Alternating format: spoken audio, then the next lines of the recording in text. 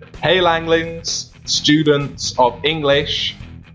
Today is Idiom Friday. We're going to learn about a great idiom.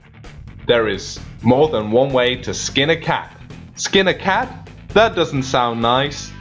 It just means there's lots of different ways to do something. There's more than one way to do something. Great. This has been Learning with Charles, your language tutor online. Just having fun. Idiom Friday. Come along next Friday for more great idioms. Don't forget to subscribe.